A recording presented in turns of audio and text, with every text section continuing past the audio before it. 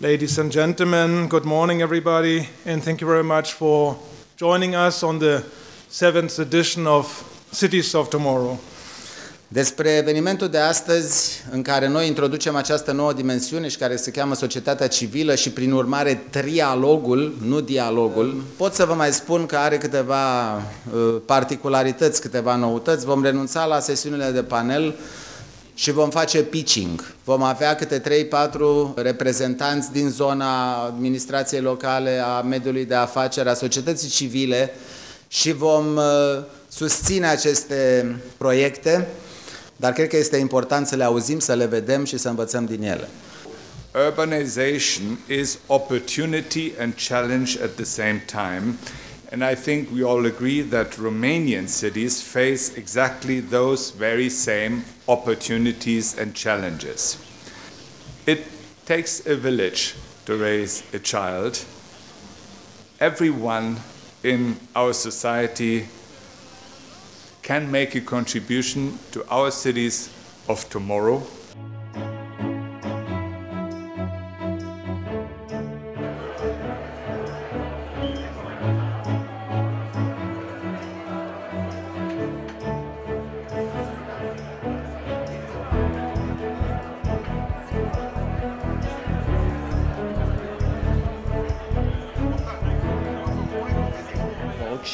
It's an, an approach to get common sense with the concept and not only consensus. We don't want to agree to agree.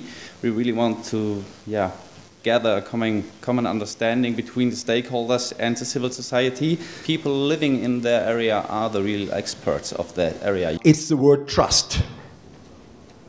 Trust is a currency of participation. So, participation means always to empower some people, to empower people by their own experts, by consulting, by uh, encourage them.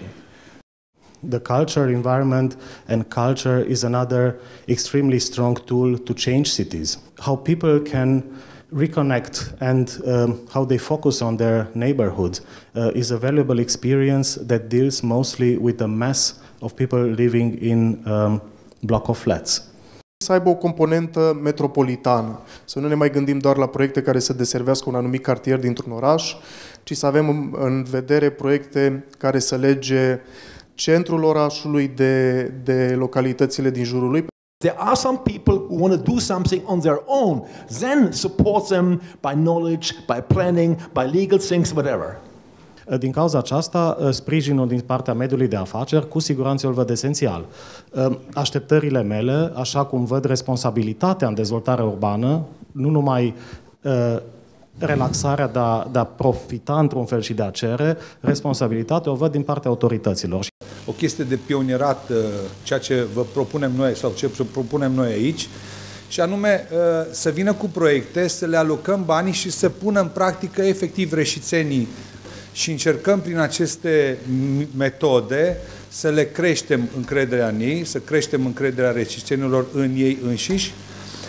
Am încercat să arătăm că există transparență din partea noastră a administrațiilor publice locale, am încercat să arătăm că există deschidere. Dacă vă amintiți de mineriadele care au avut loc în anii 90 până în 99.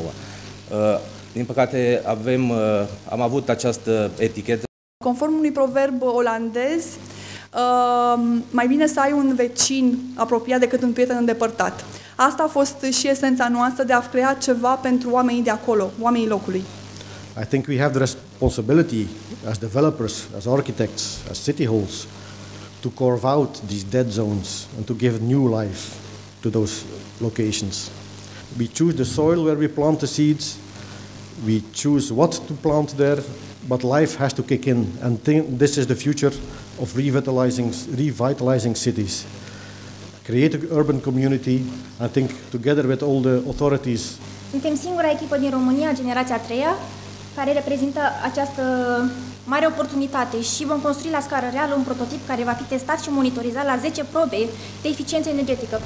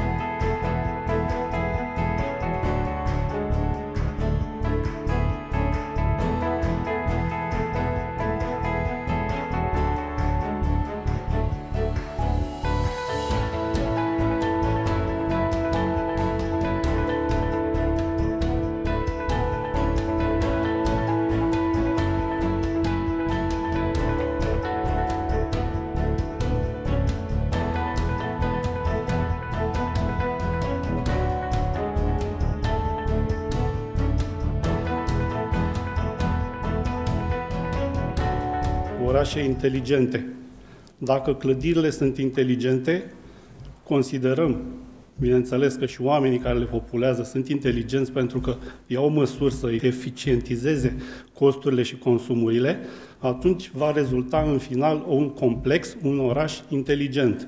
A fost menționat de mai multe ori că trebuie să fim atenți, sunt și alte fonduri, alte posibilități de, finanța, de a finanța proiecte decât fondurile europene pentru România. Trebuie să nu uităm puțin peste graniță, pentru că și Comisia Europeană da fonduri, și guvernul din Germania, guvernul din Austria. Implicarea și dezvoltarea unui ecosistem de tip public-privat mediu-academic se simte din ce în ce mai mare nevoie de acest lucru. Pentru a rezolva problemele de trafic la orele de vârf, Există soluții de fleet management și soluții um, IT de gestionare a traficului.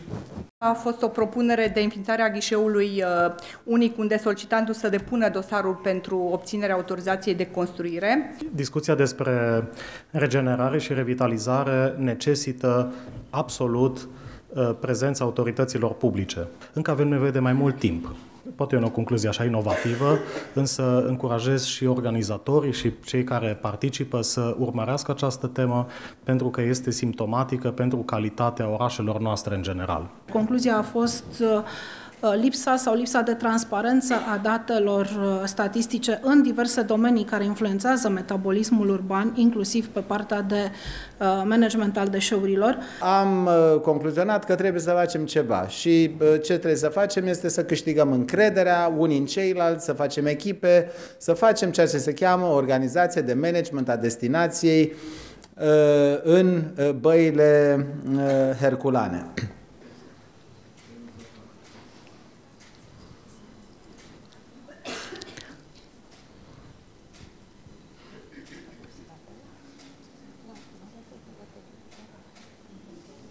This country is full of creative, innovative ideas, people. Um, it's amazing what kind of, of energy uh, in this country is. Masa de turism.